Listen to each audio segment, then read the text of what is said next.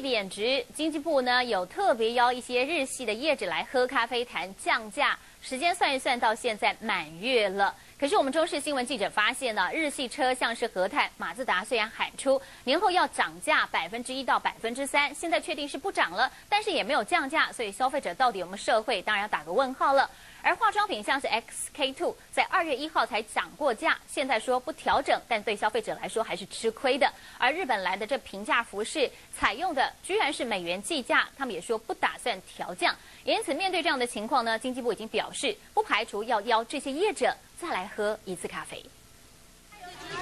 说能够降价，经济部邀集日系厂商喝咖啡，即将届满一个月，不知名大厂通通不动声色，似乎成效不彰。其实一年来，日币从七十七点四八元的价位一路贬值，近三个月更是贬最凶，一度来到九十四点三元，贬幅达到十四点五五 percent。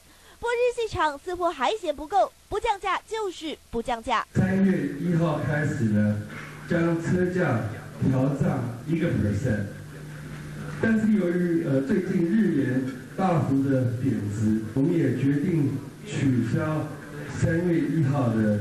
涨价的这个计划，和泰汽车说，原来要涨的，现在不涨了。而马自达原本过完年后也要涨一点五到三趴，大约一万元，现在也先动涨。SK Two 更是赶在喝咖啡前就已经先调涨。至于日本来的 Uniqlo，则是美元计价，换句话说，等于通通不降价。如果有必要的话，哈，我们可能可以再跟相关的业者做一些沟通，可能还会有第二甚至第三次的喝咖啡。不过没有强制力，小老百姓也只能眼巴巴的等着良心业者自行降价。